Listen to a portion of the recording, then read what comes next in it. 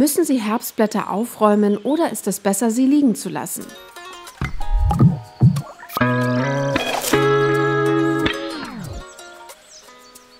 Blätter, die auf den Gehwegen liegen, sollten am besten entfernt werden.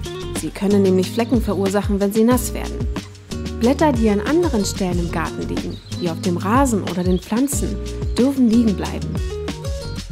Sie sorgen für einen guten und gesunden Boden. Sie können die Blätter als grünen Kompost für den Boden betrachten. Stellen Sie jedoch sicher, dass sich nicht zu viele Blätter übereinander stapeln. Dies kann zur Erstickung führen. Durch die Menge an Blättern kann keine Luft mehr an den Boden gelangen.